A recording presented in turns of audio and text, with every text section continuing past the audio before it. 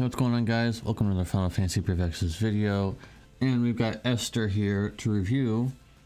So, first of all, let's let's have a separate discussion about her vision card. And let's review that first for you guys. So, is her vision card premium? No. The 75% LB damage at the end is not necessary because her STMR and her passives give her nearly enough to, to, to cap it already. So why does she need 75% more? I don't know. I guess for everybody else who would like to use it in the future. But LB damage is one of the easiest things to cap in these days because they usually have a decent amount. So missing 500 flat attack on that vision card really hurts really hurts. I would say it's not worth the premium vision card. It's definitely not amazing. So that's my review on that. Anyways,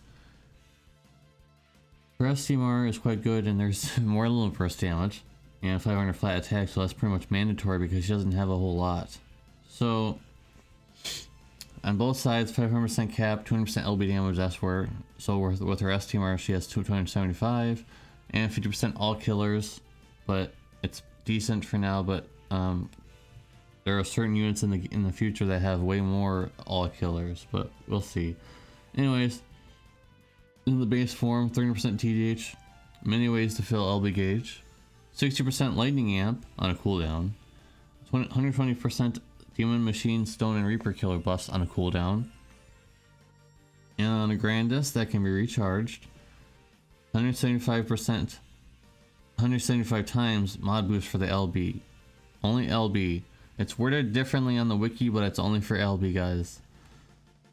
And the LB is a 350% attack buff, 3 charges for Magnus, 100% LB damage field effect, and also 200 times to 375 times with Magnus physical damage, non-elemental, so it's decent at least. Uh, we'll be talking about that shortly. In the Brave Shift form, 400% TDH for defense, defense TDH, preemptive physical cover, she has several physical covers. And also on a provoke skill, she has 75% general mitigation, 75% physical mitigation against Demon Stone and Reaper. Decent. But although there really isn't much else worth mentioning in the base form other than she has some morale, she has a morale HP barrier just like just like uh, Maeve has. So okay. So there there are a lot of problems when it comes to a premium unit and it comes to Esther. First of all, no morale based abilities in the in the base form at all. Her LB has nothing to do with morale, which in in a sense you could think, hey, now I can just use it and it'll be strong, you know, pretty much at all times. And I'm using the Magnus. It'll be strong almost at all times. But at the same time, she's not scaling even stronger with other Clash of Wills units. And it's already been, I already saw the numbers, and she's much weaker than uh, Clash Wills units in Clash of Wills at you know a higher morale percentage. So she's not beating a lot of like like uh, Carton and Sky and all those kind of units at a high morale percentage, I believe. And outside of Clash of Wills, she's beaten by certain units like Graf and other other units like that in that in that tier. So that's one thing, and there's another thing, and she is not a finisher. She is not a finisher. She has extreme Nova frames. And her LB got her LB cost a lot. She has no uh what is it, Wandering Spirit or something like that, where it gives her LB full LB gauge at the start of the turn. She doesn't have that at EX2. She does not have that. Instead, she has LB damage boost and LB fill rate. I mean, that's not as good as filling your LB gauge at the start of the turn at the start of the battle. So extreme low frames, very very rare. She has almost no partners inside Clash Wills other than maybe Fina. But like you're bringing Fina just for that, really. I guess her base form is okay. Like you in Clash Wills you would you would probably would shift and I guess you would do uh chaining that turn and then you can shift her back if she has I don't know if she has infinite turns or not. I, I didn't really look at her all that much or remember. So maybe that's a possibility because otherwise your only other partner is Rain. And no, because he's fire based. I, mean, I guess if you wanted to just go fire with her, but more often than not, you're probably going to be doing lightning. So I don't understand why they made her extreme overframes. They could have just done 27 hits. That probably would have been a lot more relevant. There was a lot more units that have 27 hits.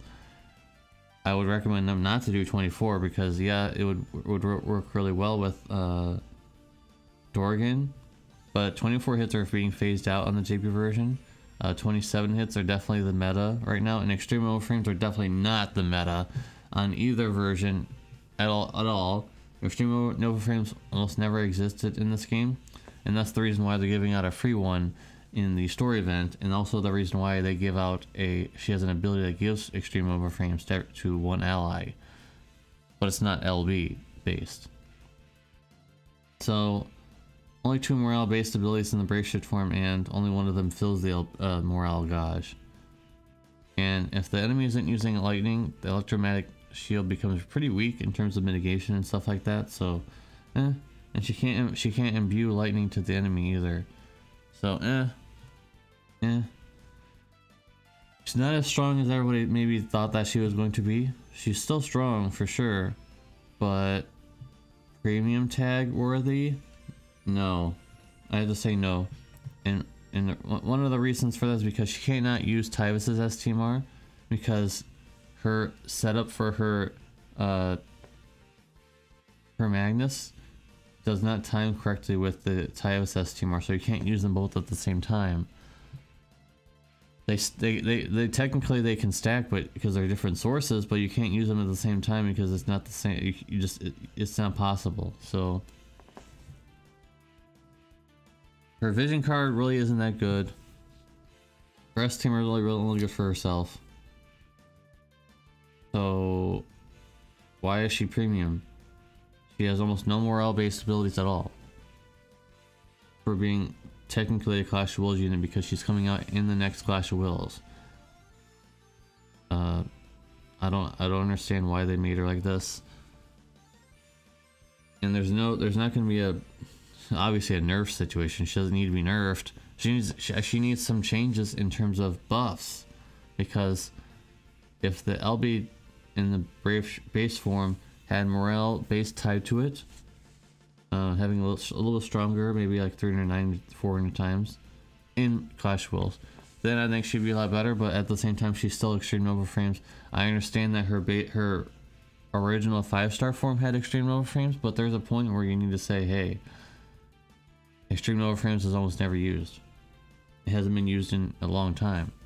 So why are we putting this on our newest unit? I don't I don't understand. So there's very limited partners for extreme overframes. In fact, I'm gonna do some research right now. I'm gonna I'm gonna find out, guys. I'm gonna find out for you guys. So the only options you have, and for some reason the uh, builder site doesn't include all of them because I know some of them exist. I looked at them. Christine, which is ice magic damage. Elena, which is hybrid damage. Rain's brave shift form, and also Blue Mage Fina's brave shift form. I believe those are all it. I believe those are it. So, but that's being said, you don't have a lot of partners for LB uh, Extreme Overframes, and I think Blue Mage Fina is probably going to be your best bet because at least she has a support kit and stuff like that she could do, I suppose. That's really it. So, all in all, she's not worth the premium tag. She she would be really good as a as if she was not a premium unit, she would be really good. She'd be getting a pretty high score, but since she's under the scrutiny of being a premium unit compared to Sephiroth, Auron, not Yuna, and you know stuff like that, and and stuff in the future like Dark Reign, Clash, uh, or Knights of Grand Grandshelt, whatever you may think of them. Uh, those are premium units. Tyvis, Tyvis is a premium unit. You can you say it right now. Look at his vision card, really good. Uh, look at her vision card. Bland, mediocre, in my opinion. So, gonna have to give her a low score. I don't. I don't it's, it's because she's in, in, a premium banner. She's expected to be a little, oof, a little higher up, and there's a lot of limitations on her. So I'm gonna go 8.5. She's not getting a nine. She cannot reach a nine. If she was not a premium unit, she'd be getting a nine, most likely, or 9.5. But since she's premium, I have a lot more expectations of a premium unit than I do of a non for you guys. Remember, 60k pity. 60k pity for her. Is this worth, this is not worth 60k pity. No. So hopefully they're, not going to change her, but I really hope that they do. I hope that they change her in some way. Hopefully they change that vision card. It is not worth pulling for. It is not bait. It is definitely not worth bait. The other, the first vision card with the the great sword and peril and everything on it that has uh Tullian's picture on it, that was bait. This is not. So 8.5 for Esther. That might be controversial from some of you, but keep in mind she's premium. She's missing a whole lot of things, and also not. She'll be good in Clash Wills, but like, where's the where's the morale stuff? Where's the morale stuff? That's what I'm thinking. Overall, everything else. Okay, here's the tier list of things that are concerning to me. No morale stuff. Number one. Number two, extreme overframes. So she can have extreme overframes. There's there are ways around that. There are Fina. Fina, you could bring Fina for that. But no morale stuff is is really detrimental to her entirely. So if you, if you want to take away from anything from that, that's what I'm that's what I'm complaining about. I suppose the most. And so yeah, 8.5 guys. Thank you guys very much for watching. Appreciate you. If you have any criticism of this review, let me know in the comment section down below. If I was wrong on anything, let me know that in the comment section down below. I'm sure some people will tell me I missed something. Even though I, I made sure to look at the kit very, very closely with a magnifying glass. Not not literally, but you know what I mean. Like I'm very, very uh, scanning everything. So I guess I should have I should have said this at the very beginning. By the way, I only put in things that are really interesting uh, in the, in the pros and, and cons and things like that. So her, you'll notice that I didn't mention her Brave Shift LB at all because it's really just eh, whatever. So that's it, guys. 8.5. Thank you guys for for thank you for watching. Sorry about that. Uh, make sure to like the video. Make sure to subscribe if you're new around here because I do reviews on all the units that come out on the global and the JP version.